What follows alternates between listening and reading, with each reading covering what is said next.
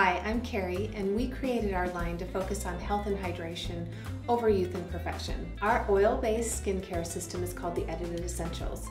It's simply four products that allow you to customize your experience with the product each and every time you use it. It's simple cleanse, hydrate, protect, and go.